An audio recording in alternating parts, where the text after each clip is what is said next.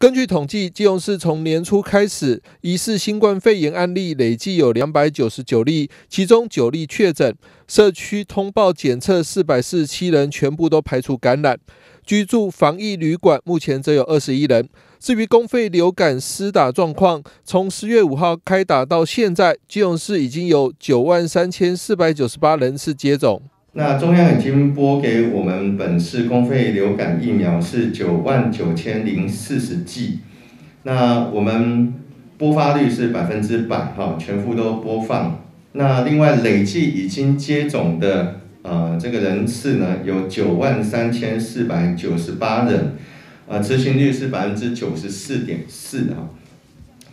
那在六个月到六岁的幼儿呢？累计啊接种已经达到一万零四百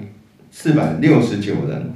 五十岁以上的一个成人，六十五岁以上的长者、孕妇、医师人员等，呃，这个总计是接种了五万七千九百人哈，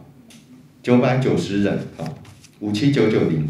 另外学生的部分是接种了两万五千零三十九人。在国际疫情升温、国内再度出现本土个案后，对于即将到来的圣诞晚会及跨年活动，林友昌表示将采实名制，保障参与民众安全。不管是呃这个圣诞节还是跨年的一个活动，呃都采取实名制，啊，也就是要求所有的民众都遵循依照中央的防疫指引来进行相关的防疫的工作，哈。